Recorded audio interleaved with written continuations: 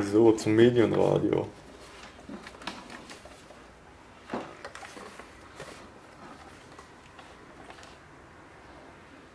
Hier haben wir das Modell.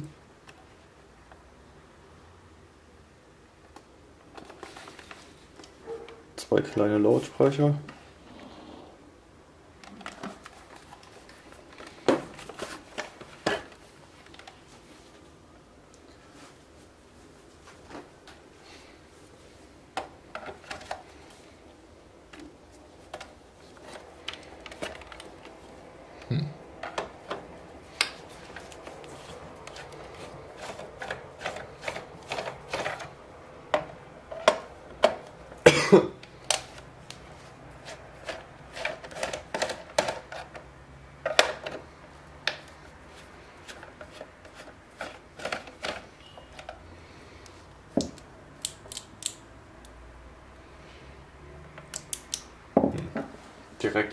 Papier ist das.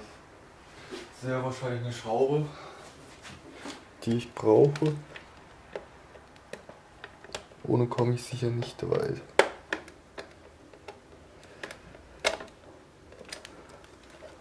Das machen der Hersteller aber auch wirklich schön direkt immer unter dem Papier die Schrauben verstecken. Ja, komm schon.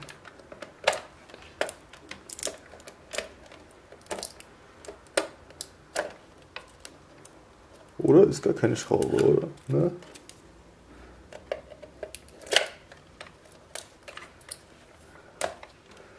Ja gut, das ist keine Schraube.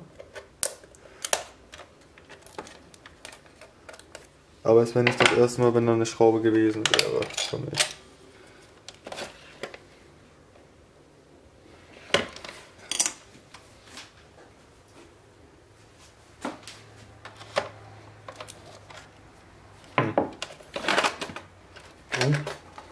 Fällt ja schon halb auseinander, wenn man das abnimmt.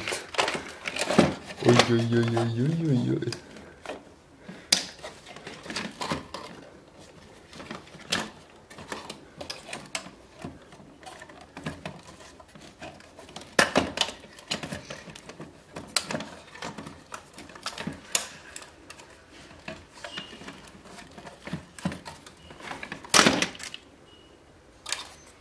Was ich nicht erwartet hätte, Neodym-Lautsprecher.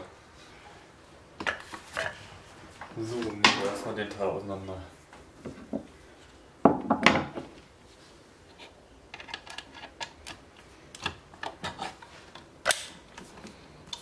Schön bombenfest abgeschraubt.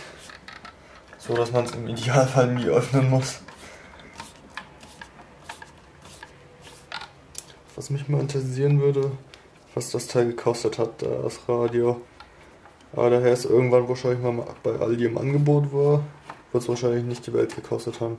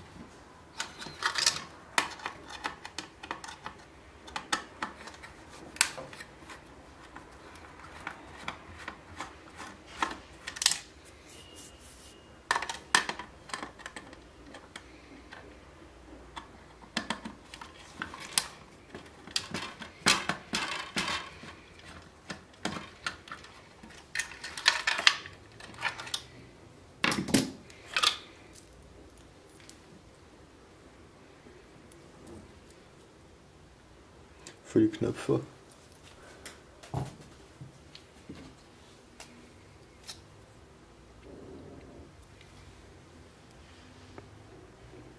Das halt für zum CDs lesen.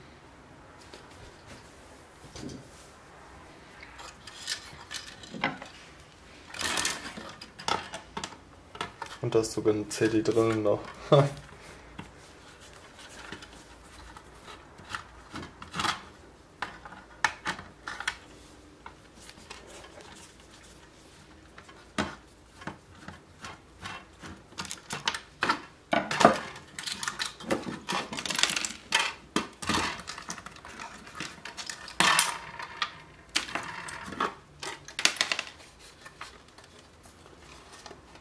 So, machen wir mal auf.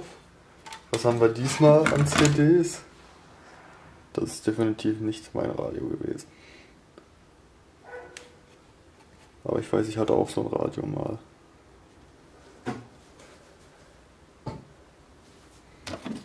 Jo. Plastik. Hier die Feder. Und hier halt ein Rädchen. Das hat der Auf- und Zumachmechanismus.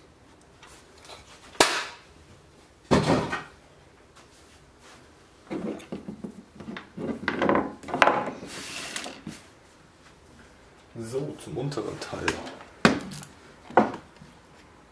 Die Lautsprecher. So, zu den Lautsprechern.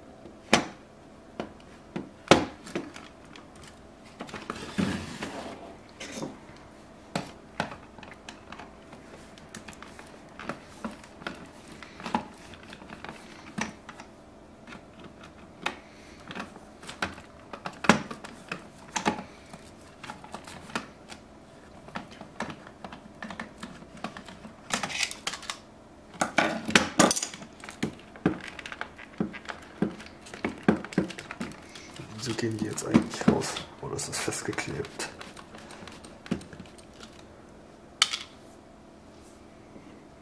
Oder ich habe eine Idee. Die beiden Schrauben hier.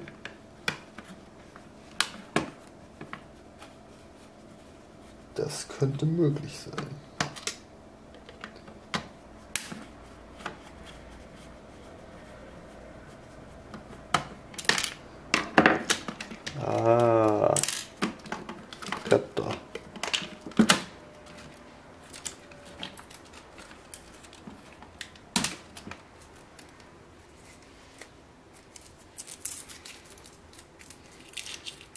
Watt Lautsprecher. Hm. Schade eigentlich, dass man die nicht festschrauben kann. Das habe ich auch noch nie gesehen. Zur Hälfte zu und nur da, wo die Anschlüsse sind, offen. Das erste Mal, dass ich so einen Lautsprecher sehe. Von der Art. Vorbei. So kriegt man die auch gleich raus. Bei solchen Sachen sollte man aufpassen, dass man sich nicht an den Fingern verletzt oder die Membran vom Lautsprecher beschädigt.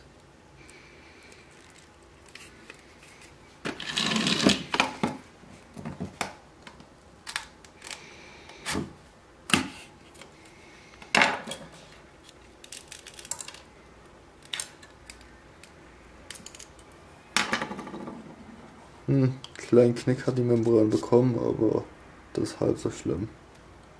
Hoffe ich doch mal.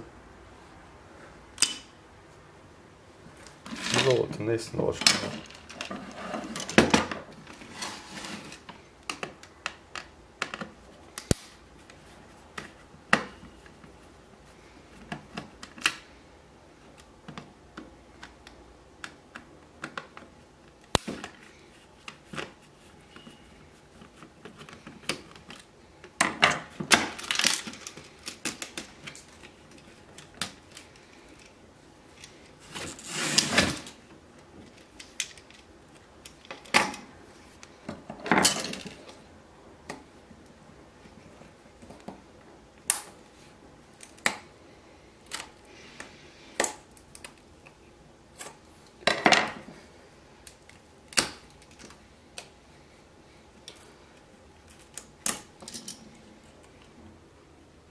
Der sieht auch nicht besser von der Membran aus. Entweder waren die schon vorher leicht verbogen, was bei solchen Billigteilen natürlich sein kann.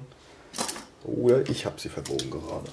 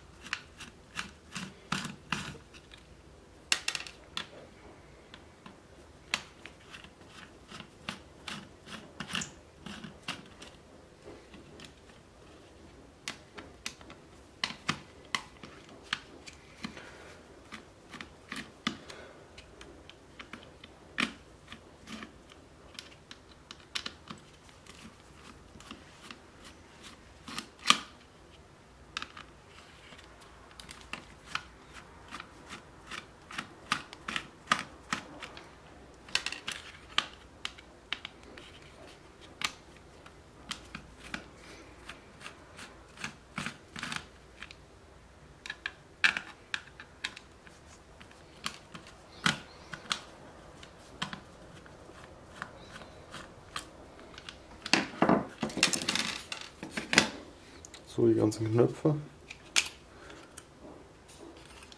sind anscheinend festgeklebt. Ja, wie man sieht, festgeklebt.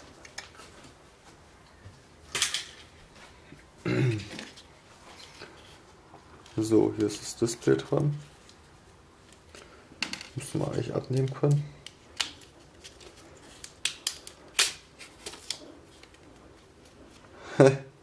Eine Lage vom Displayklammer entfernt.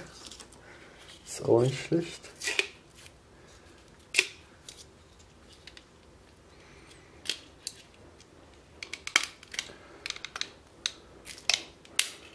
Das ist ja noch ein sehr altes Display, da kann man sogar schon einige Lagen entdecken. Wird wahrscheinlich Acrylglas oder Hartkunststoff sein. Hier das Glas vom Display. Und das ist halt so das Papier, was dazwischen war. In dem Fall bloß eine Lage, was natürlich für schlechte Qualität hindeutet.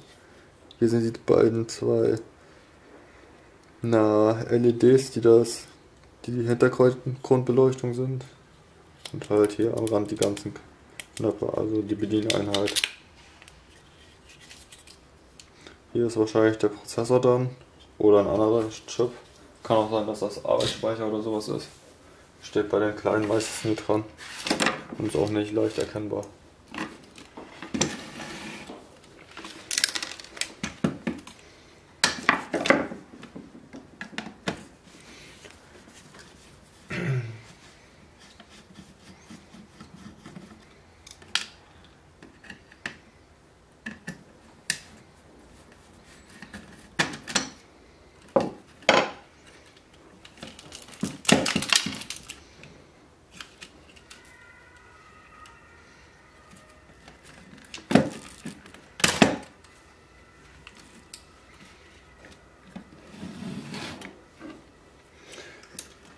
So sieht aus, als wenn man das hier als erstes abmachen sollte.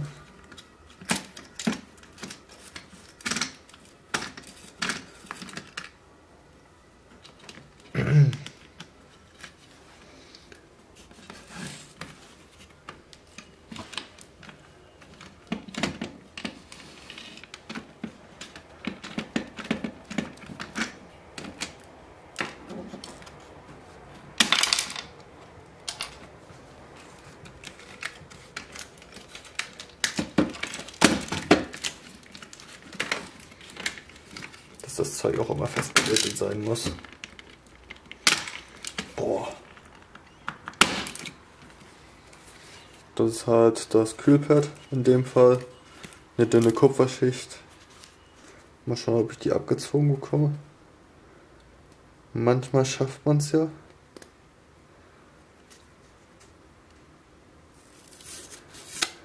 Naja, mehr oder weniger gut bekommt man sie abgezogen.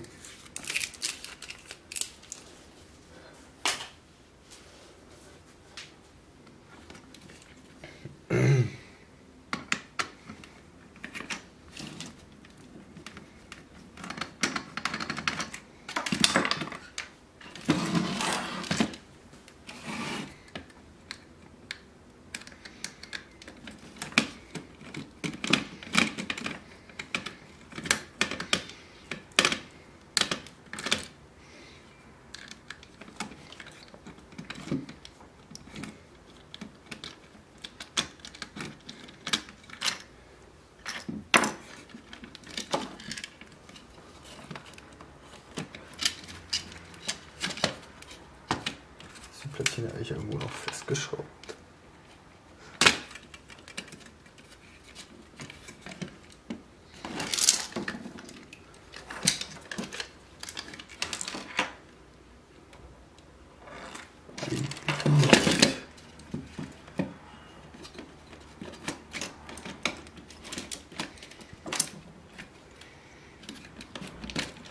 Hm.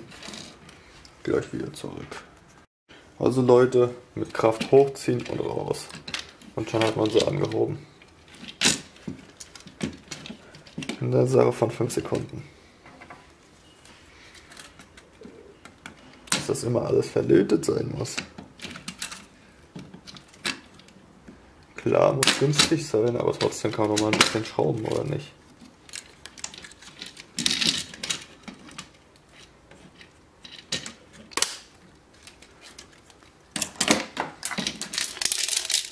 Das ist der Trafo.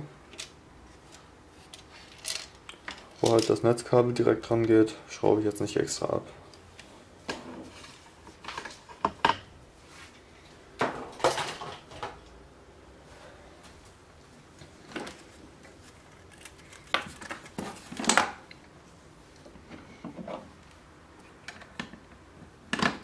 Da sieht man auch gleich die Hauptplatine hier. Mann, warum geht das jetzt nicht?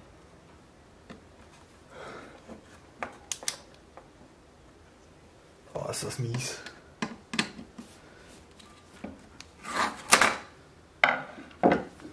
Sollte man jetzt mal mit einem kleineren Schraubenzieher probieren.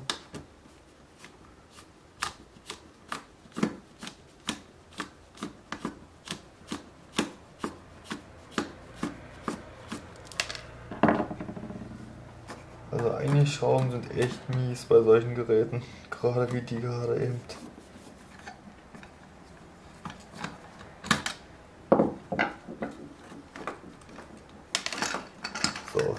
Wir noch das Teil ab.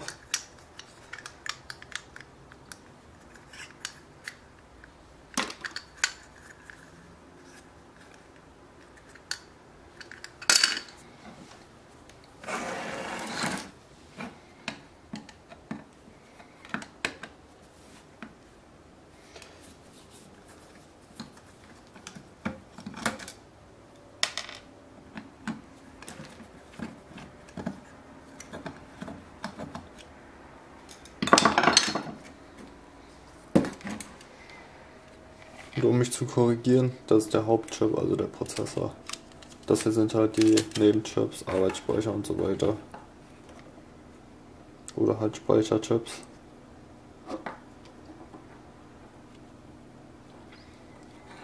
Jo. So sieht die Platine aus. Tschüss, bis zum nächsten Video.